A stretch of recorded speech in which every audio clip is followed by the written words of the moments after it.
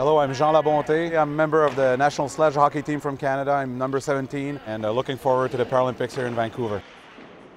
I've been uh, playing sledge hockey since 1994 and uh, so that's it's my 17th season as a player. However, for me it's kind of a dream come true because I, I, um, I grew up wanting to play hockey. It's hockey country, it's Canada. I watched hockey when I was young and played hockey with my brother, but I never played organized hockey.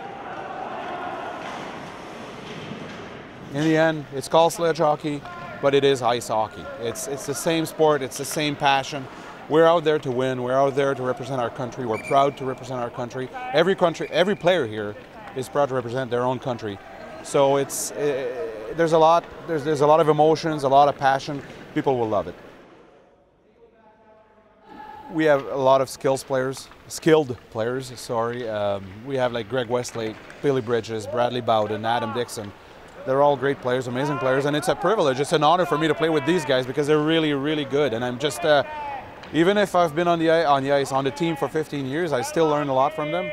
Uh, they're young, they want to get better all the time, and it forces me as a veteran to try to get better as well.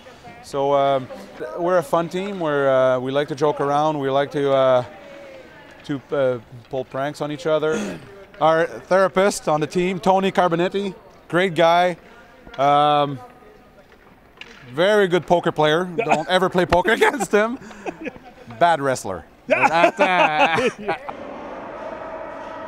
In 2003, when they announced that Vancouver had the games, it was just so overwhelming. Uh, overwhelmed with joy, and it just. Um, it's it's great because it's rare that as a national team we can play here in Canada in front of big crowds. It's, it's rare. It doesn't happen often.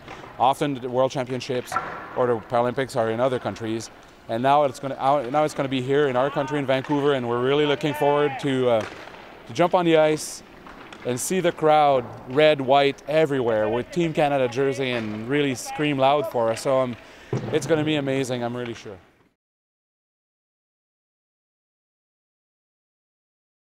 you